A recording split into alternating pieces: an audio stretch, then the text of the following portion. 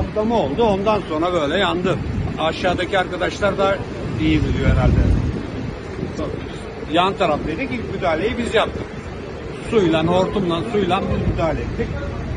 Ne olduğunu bize bilmiyoruz. Şu anda belli olacak.